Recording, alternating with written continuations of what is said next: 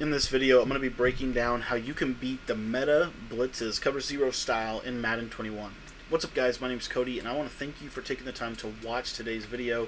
If you've never been to my channel before, my channel focuses in on how to help you become a better Madden player, both on the offensive side of the ball and on the defensive side of the ball in Madden 21. So we do that through daily videos just like this when we break down about 8 videos every single day to give you different tips and strategies and routes and defenses and blitzes and schemes that you can utilize. We also do our text message membership, which is completely free for you to get. All you got to do is text me. My phone number is 812-216-3644 and every single week we release exclusive high-level Madden schemes.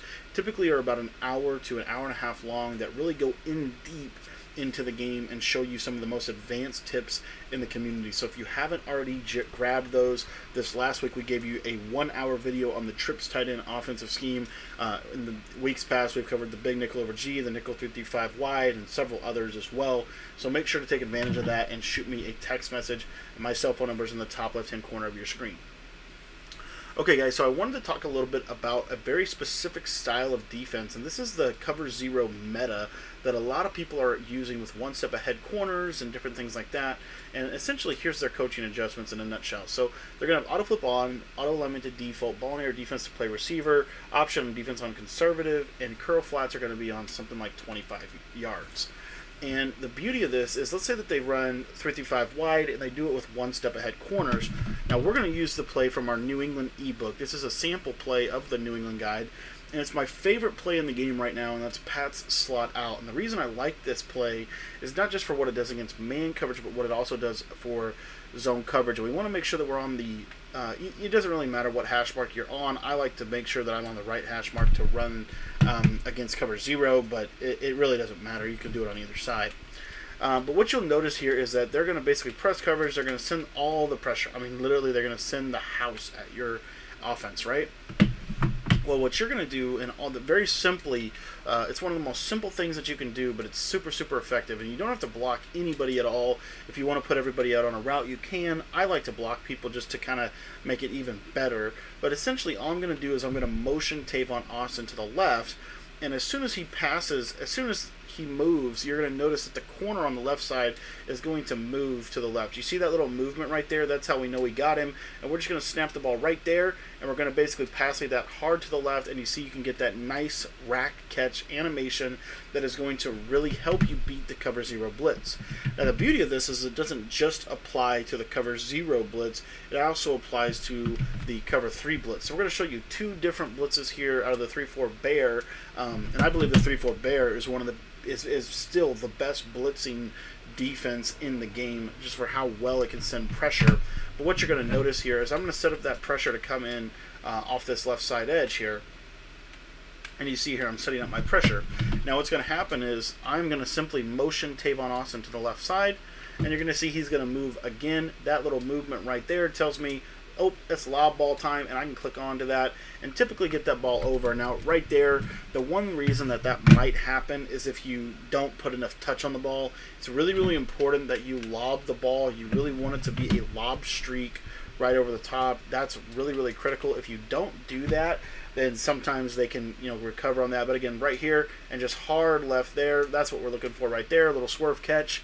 And as you can see, it's a one-play touchdown against the cover zero meta.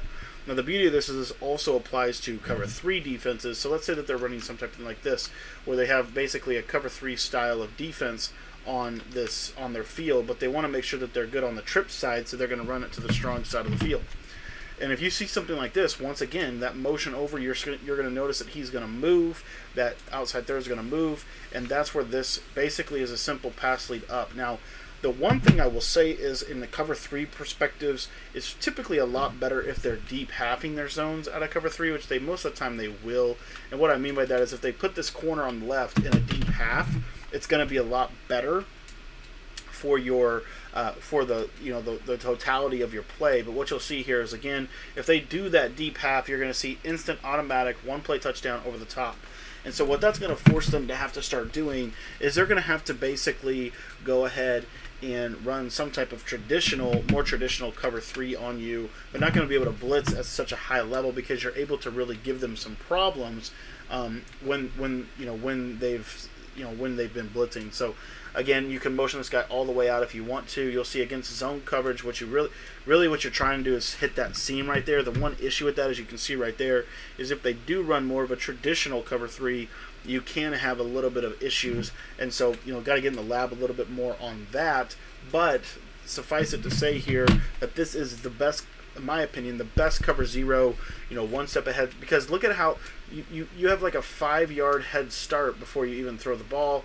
And if you have a good quarterback like Aaron Rodgers, you're going to be able to get the ball over the top very, very easily. So that is the best cover zero beater in Madden 21. Make sure to go ahead and click that subscribe button at the bottom right hand corner of your screen so that you can get the rest of the tips. We're going to be breaking down some pro players today. I'm really excited to talk a little bit about Decroft, a little bit about Poison, and a little bit about uh, Young Henry as well. So make sure to subscribe if you haven't already. And also, if you want to get the full uh, breakdown of this formation right here, the full breakdown, the my uh, full ebook on the New England Patriots offense is in the description. It's over 400 pages with over 36 formation breakdowns and over 10 hours of video content. And we just put it on sale for about 10. Uh, we basically discounted it 10 bucks just for the weekend, so it's only 20 bucks to pick up the whole offense. It's the best offense in the game. Be sure to pick that up in the description.